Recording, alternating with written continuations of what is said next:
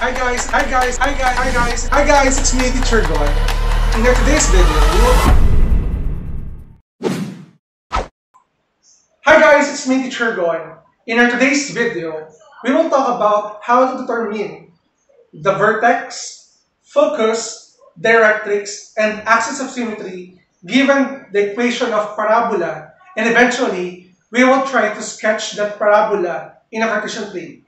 So without further ado, let's do this topic. So we are given the direction, determine the vertex, focus, directrix, and axis of symmetry of the parabola, and sketch the graph.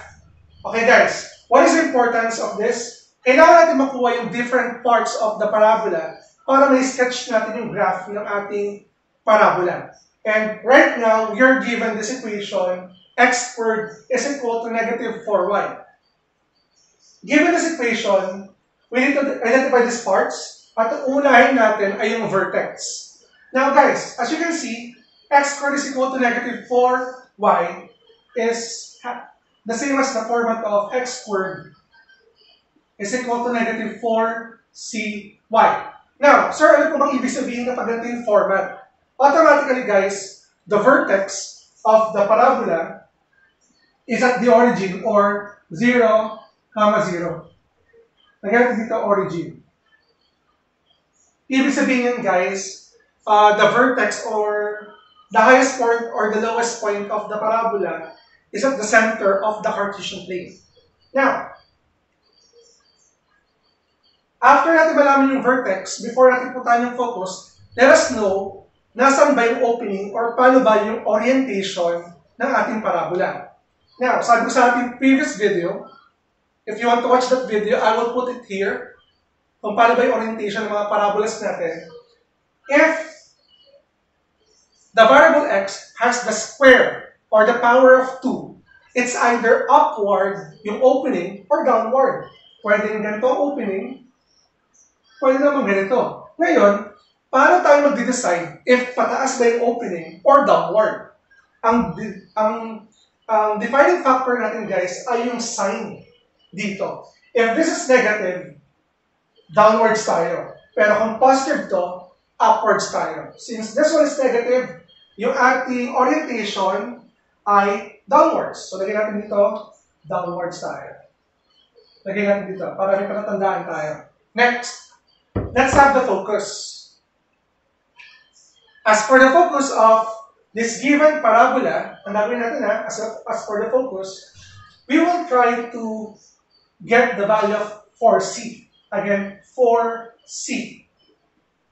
4c. Because yung c natin, the variable c, it is the distance of the focus from the vertex, as well as the distance of the directrix from the vertex. Your 4c here is um, 4. Ang kukunin ko yung, yung positive 4 guys ha, kasi lagi naman yung ano, absolute value. So I will use 4. Now, sir, bakit po hindi pwedeng negative? Kasi uh, length ang hinahanap natin or unit of measurement, wala po tayong negative na length or distance. Now, if we divide 4c by 4, we can eliminate this and we can get c. And also this one, we need to divide it by 4.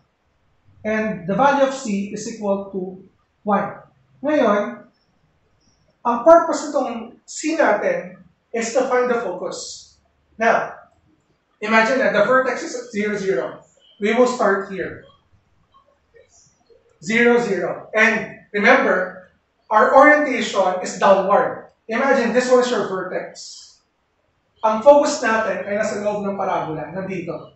Meaning, from the vertex, we will move one unit downward.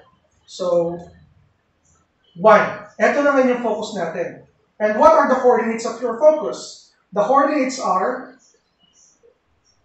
0, comma, negative 1. Ito yung coordinates ng ating focus. Okay?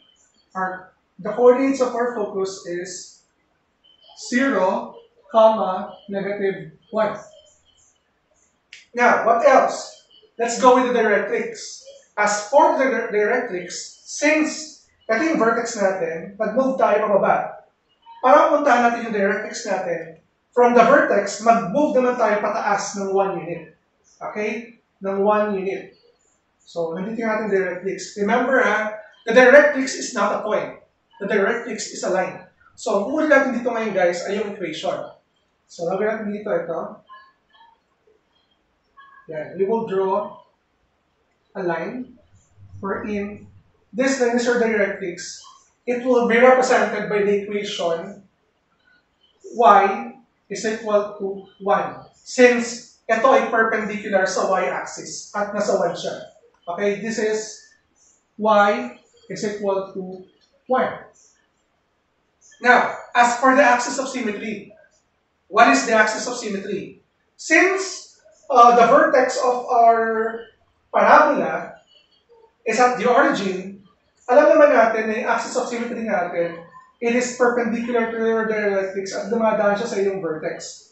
So dito, sa ating graph, yung ating directrix is the y-axis, uh, sorry, the axis of symmetry, again, the axis of symmetry is the y-axis. So, lalagyan natin dito, not y-axis ha, sorry, x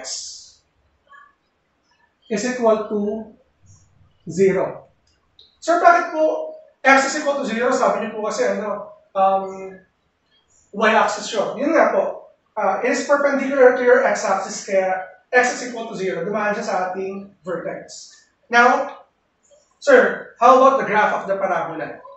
How about the graph of the parabola? Remember, sa previous video natin, I mentioned that your 4C is the length of your latus rectum.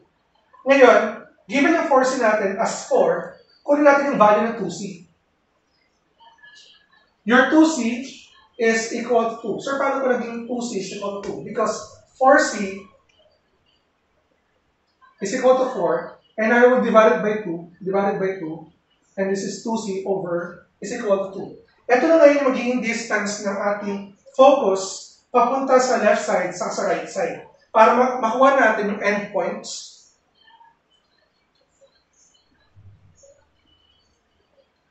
of latus rectum. Sila yung makakatulong sa atin para makapag-create tayo ng curve ng parabola. Now, since two units, so from the focus, mag-move tayo ng two units to the left, 1 and 2. Ito na ngayon, yung first endpoint in which the coordinates of this first endpoint ay negative 2, comma negative 1.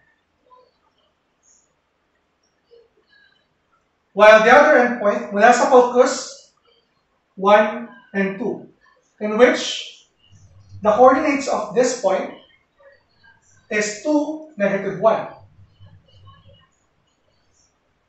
Now, as you can see, these are the endpoints of the latus rectum. At para mabuo natin yun, gagawa tayo dito ng curve.